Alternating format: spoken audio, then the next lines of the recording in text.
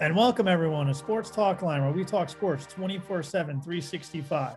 And on this week's episode of Battle for the Big East, we got Mike DeCourcy from Fox Sports. Because guess what? It's March, the madness has begun, and we're going to talk about brackets. And oh boy, was it a maddening week in the Big East for pretty much everyone involved, Mike. What do you say about that? Yeah, I don't think it was a good week for anybody.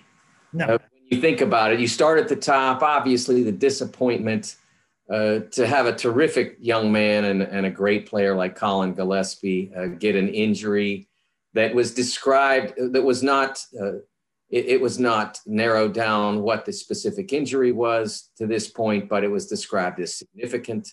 And that's, that, that's not good. It's hard to recover from significant in time for uh, for the NCAA tournament a week later. I, we can't say I, we don't know enough to say it's impossible, but it would seem unlikely. Uh, then you look at Creighton and the awful situation there. Uh, uh Seton Hall goes down on the road to UConn. Uh, you've, or excuse me, at home against UConn. You've got Xavier losing on the road to Georgetown. The, the, when, I, when after they beat Creighton, there was a good feeling about Xavier, and, and understandably so. That was the win they needed to add to their uh, to their earlier Oklahoma win to say it was to, to be able to say, see, it wasn't just one night. And then they had those two games, those two road games against Georgetown and Marquette, both of which have shown they are capable of beating NCAA tournament quality teams. And they got and they and they and they got it at Georgetown, and now they still have to go to Marquette. So not a great situation for them honestly, the only one that had a good week, uh, a positive week, was UConn. I don't think you can say anything bad about their week. They won at Seton Hall. Everybody's still healthy. Uh, so the, the, the, Huskies are the one team that can feel good about where they stand today. And I know they're extremely excited about the prospect of going back to the Garden to play in the Big East tournament for the first time in, in, in since 2013. Yes, Mike, I totally agree with you. Right now, UConn's the hottest team and it's bring it's echoing memories of Kemba Walker and Shabazz Napier, where it's like, oh, is this going to be one of those feeble runs where James Bouknight? Because it looks like Bouknight's gone after this year anyway, which which I think everyone agrees with. Um, but you know, UConn's going to be an interesting team. But speaking of interesting teams, you kind of hit on every team so far in the Big East. In your last four out on Monday of this week, starting off March 1st, you had Xavier and Seton Hall as the last four in. As of right now, going into the final weekend of Big East regular season play, are both of those teams still in your bracket uh, to make the NCAA tournament? I have not done the Friday bracket compilation yet, but I don't have much doubt that Seton Hall will be out. Xavier maybe still has a chance to hang on to the last spot. It's somewhat dependent on uh, where where I grade Wichita, a few others. I, I had Stanford firmly in supplanting supplanting uh, Boise State, which lost earlier this week to Fresno. That Fresno lost it, all the all the Big East bubble teams can say, yeah, but we're not we're not the guys that lost to Fresno. So there is that, uh, and that puts Stanford in. And then oh, by the way, yeah, we we lost to Georgetown, but we didn't lose by 35. And I know there's a big disparity between Georgetown's efficacy and Southern California's, but still, you can't lose by that much like Stanford did and feel good about your space in the field. So uh, Xavier still has a chance to be in the Friday bracket based on the, the struggles of others. But I think that in order to go into Big East tournament week inside my bracket, inside the other uh, the other prominent media brackets. I think that Xavier, at the minimum, has to win at Marquette. And as I said, that's a real challenge. Uh, Marquette's got good players. They played some really good basketball, struggled at times, uh, but that's that's a real tough one for for Marquette to get. If they get it, it probably won't be rewarded at the level of uh, that of the difficulty that'll uh, be required to to secure that victory. Uh, but at least it keeps the Musketeers toward the front of the line, if not inside the bracket. Yes, and if you doubt how good of a team Marquette is, just ask Roy Williamson in North Carolina. Um, boy, did they lay a shellacking a few weeks ago, and that probably helped out the Big East with the net rankings and everything like that. But you, you kind of mentioned Xavier is is hanging on by a thread. So if they went out, they're okay. You said Seton Hall drops out.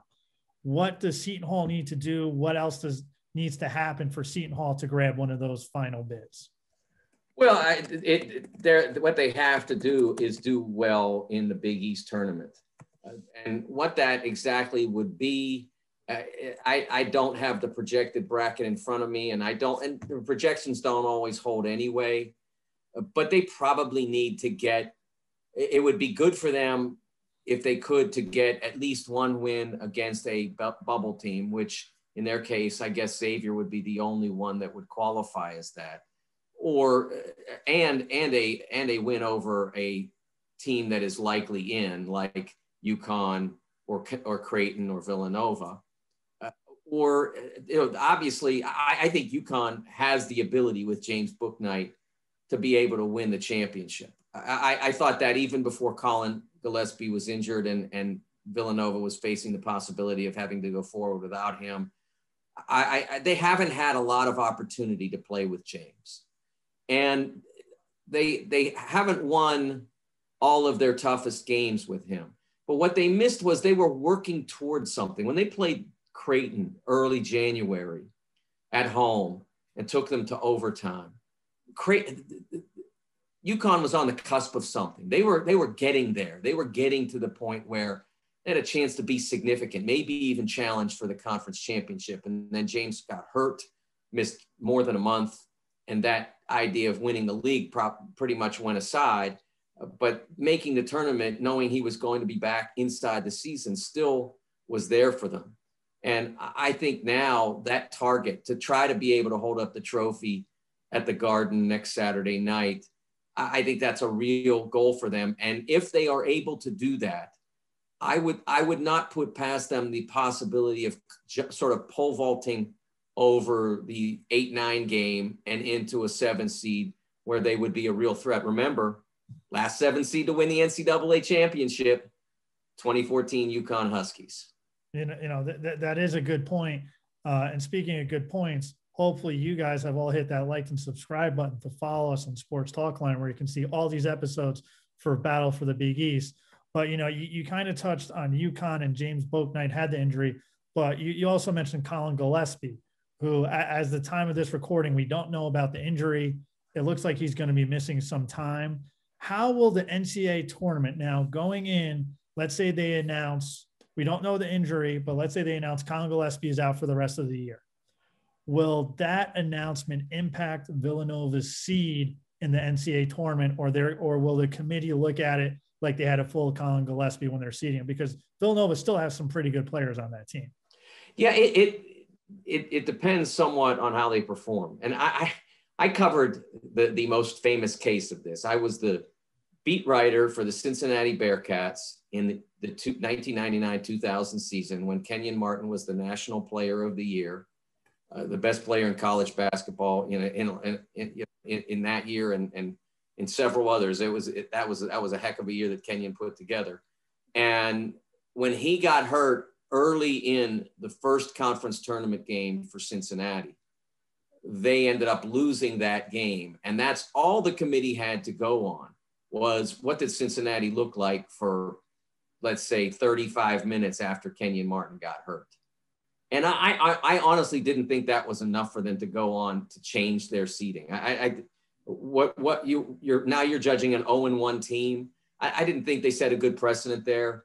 And not to mention the fact that that same year, Loren Woods didn't play at the end of the year for Arizona and didn't play in the tournament.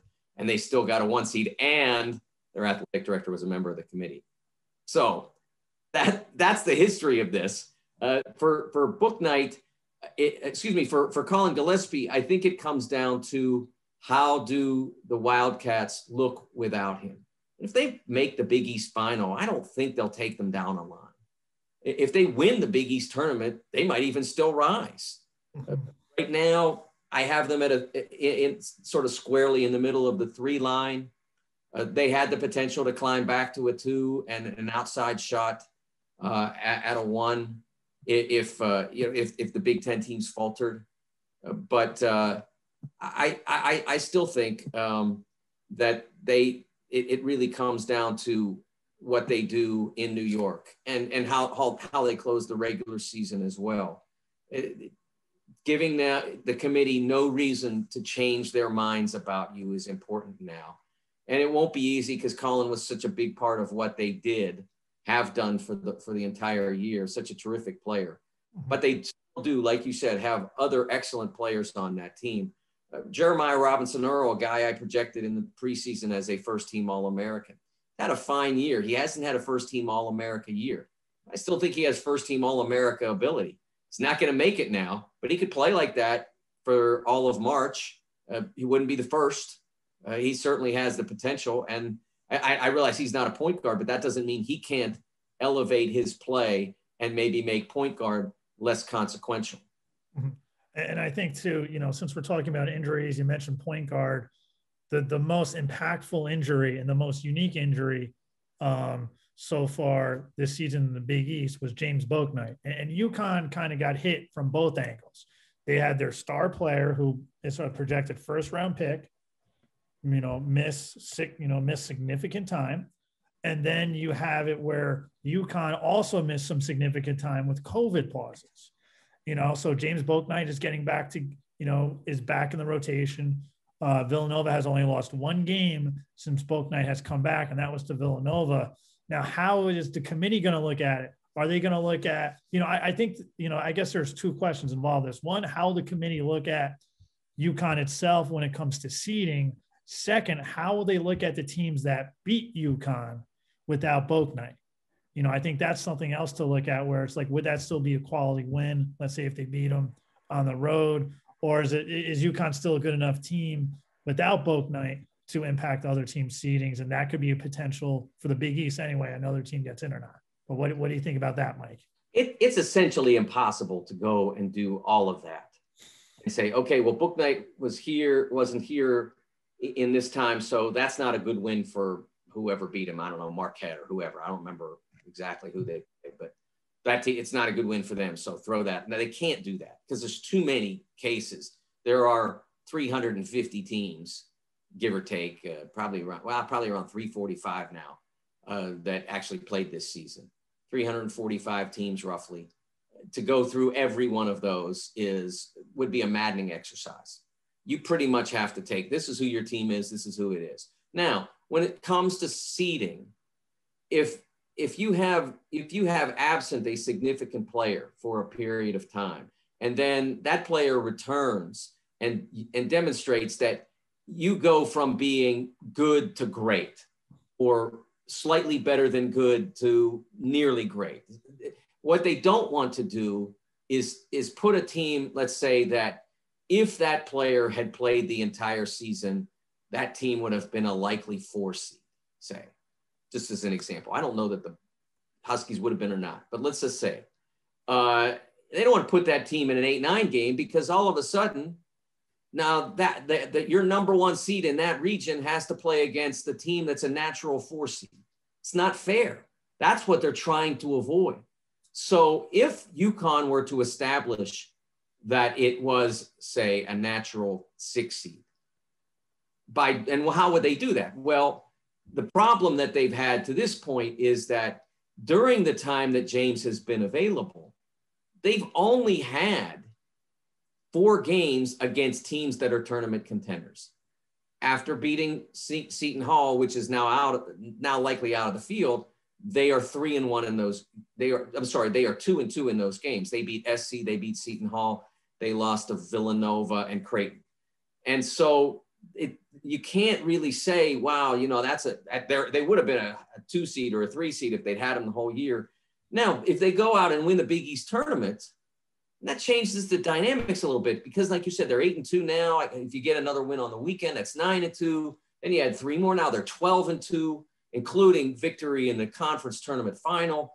Now maybe you're thinking about, well, we got to keep these away from, we got to keep the Huskies away from the really good teams and we're probably running short of six seeds anyway, or five, whatever the line is. Because I'll tell you, when you're doing the brackets, you get to a certain line and you say, "Well, I know what a three seed looks like, and I know what a five seed looks like, but I don't have anything that looks like a four seed." Uh, that happens. So maybe they maybe that that team, that Huskies team would then be qualified for some spot in the bracket that their overall record might not say. But generally they try they they're going to select the teams based on their on what they accomplish and then seed them based on to an extent based on how danger, dangerous are, are those teams going to be to the teams that have earned higher seeds. All right. And now the last question before we go, we kind of touched on it a little bit. Creighton uh, made headlines for a locker room comment made by Coach Crate by Coach uh, McDermott. Um, but you know, sticking to what's on the court, how do you see Creighton right now going into the NCAA tournament? What seed do you see them on? Because I'm guessing Villanova will be ahead of Creighton. So will Creighton fall into that four line, four five line? Where do you see them going as of now? Well, prior to the loss to uh, prior to the loss against Villanova, I had them seeded. Uh, I, they they had been fluctuating uh, between four and five, and I had them seeded as a five. I would say that subsequent to that that loss, they probably are looking at a six. It, some of it depends on activity that will occur after we after we finish our conversation and before my bracket is published on Friday afternoon. But they're probably looking at about a six right now. But it's a it's a it's an interesting deal because they've got a very strong record, even with the the Nova loss, a very strong record against the top two quadrants. And then they have three losses against teams in quad three. That's a really high number for teams that are in the range we're talking about. I'm not sure that anybody else is close to that number. So that that makes them a difficult team to seed. And what makes you an easy team to seed is then basically going out and declaring, no, we're this or we're that. We are, no, we really should be a four. Think about us as a four by us going out and winning this game, that game, the other game or we're really not that good. You can drop us down, you know, to a seven maybe or an eight. You know, if we if we really screw it up, you can put us in as an eight. The teams tell you what they want to be seeded, what they whether they want to be selected in, in a case of bubble teams. So obviously, this has been a very uh, you know disappointing week at Creighton in so many levels.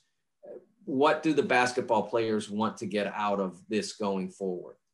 how much you know how much can they believe in in their circumstance in order to put the effort together that is necessary to win at the big east level? I don't have an answer to that. They weren't sharp at all against villanova but they quite possibly would have lost that game even if none of this had happened. So i don't think we can necessarily grade them on that we'll have a better idea after they go to new york and we'll see whether or not they're the Creighton that had been a pretty sharp team prior to, to Greg McDermott's comments a week ago. All right, Mike, before we leave, can you tell us where people can find you on social media? Yes, uh, my Twitter handle is at TSN Mike. That's as in the sporting news at TSN Mike uh, at twi- on Twitter. And then, of course, you can find me uh, doing uh, bracket conversations. I will be on a lot for, for Big East fans. I will be on every day uh, on the in between games, half times, whatever, um, talking brackets uh, in, in, during the Big East tournament, all, every day of the tournament. And you can find me as well doing the insider pieces uh, for Inside the Big East, uh, the weekly Fox Sports program that focuses on personalities and and and and, and performances in, in the Big East. And uh, you can find my work if you prefer to, to, go directly to sportingnews.com. You can find all of my work uh, on the college basketball page or archived there. So lots of place to find me. And, and if you want to wander away from the Big East, still appearing uh, regularly on the Big Ten Network as well. Yes, the Big Ten. That that's something. Oh boy, the Big Ten's a strong conference this year. They just love to beat each other up, to say the least. But thanks for coming on, Mike, especially during this very busy time for you at March. I guess accountants and bracketologists have a busy time at this time of year. I want to thank you again for coming on. And remember, listen like you play with intensity.